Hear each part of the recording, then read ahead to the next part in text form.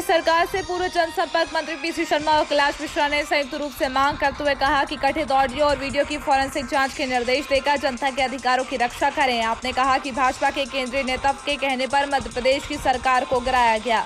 सरकार कराने के लिए ज्योतिरादित्य सिंधिया और तुलसीराम सिलावट अगर नहीं साथ देते तो सरकार क्या कर सकती थी?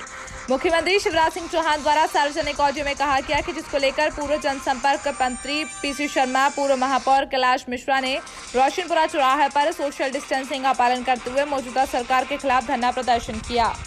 इसके मुख्यमंत्री माननीय शिवराज सिंह जी का एक आईडियो आया था। उसमें स्पष्ट रूप से सुनाई दे रहा है।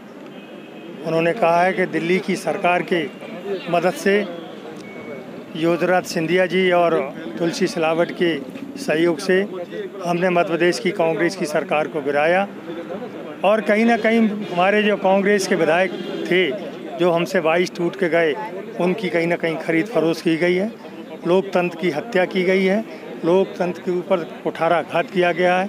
उसके विरोध में आज हमने यहाँ पर धरना दिया है। और एक ज्ञापन हमारे देश के महामहिम राष्ट्रपति के नाम से हमने दिया है। और जो कलेक्टर महोदय को हम सौंप रहे हैं एक साथ हमने धरना प्रदर्शन किया है यहाँ पर।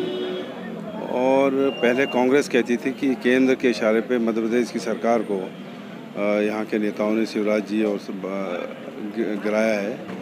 लेकिन अब खुद शिवराज जी मुख्यमंत्री जी ने कह दिया कि केंद्र के इशारे पे हमने सरकार, मध्य प्रदेश की कमलनाथ जी की गिराई है और तुलसी सिलावट जी और जो सिंधिया जी ने इसमें हमारा सहयोग किया है। तो ये जो खरीद फरोख्त हुई है और ये खरीद फरोख्त करके सरकार गिराई 121 विधायकों की, जो आज हैं 107 इनके बीजेपी का। अज मत की हमारी मेजॉरिटी वाली थी कमलनाथ जी की सरकार। और, राजस्थान, छत्तीसगढ़, गुजरात, उसमें भी यही मुहिम चली हुई। इसलिए महामहिम राज्यपाल जी को हम एक ज्ञापन दे रहे हैं। कि ये खरीद फरोख्त बंद करें, इसको संज्ञान मिले और जो दल बदल करे, इसमें कानून लेके आए कि छह साल तक चुनाव नहीं लड़ सकता।